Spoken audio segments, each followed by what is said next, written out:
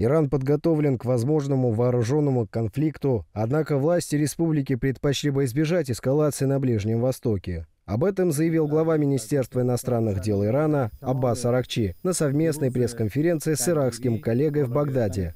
По его словам, Тегеран в последнее время делает многое, чтобы предотвратить полномасштабную войну в регионе. Однако исламское государство не пойдет ни на какие компромиссы в вопросах защиты своих граждан и национальных интересов, подчеркнул иранский дипломат.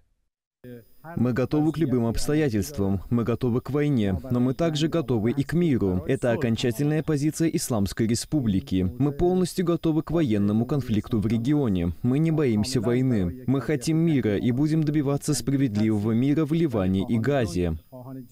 Аббас Аракчи утверждает, что корнем роста напряженности в регионе являются преступления сионистского режима, начавшиеся в секторе Газа, а затем распространившийся на Ливан. Глава внешнеполитического ведомства Исламской Республики заявил, существует возможность того, что такого рода нарушения Израиля будут продолжаться и в других странах региона.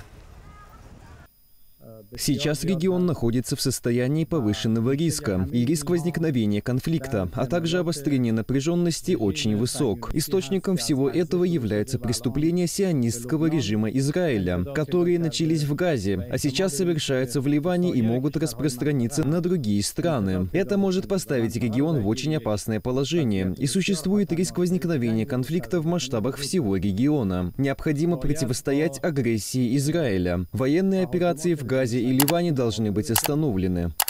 Контр-адмирал Алириза Тангсирип заявил, что Корпус Стражи Исламской революции разработал несколько планов действий на случай прямой конфронтации с Израилем. Позже глава внешнеполитического ведомства Ирана в соцсети X заявил, что Вашингтон продолжает поставки большого количества вооружений израильскому государству, а также собирается подвергнуть риску своих же солдат, направляя их в Израиль для управления американскими ракетными системами.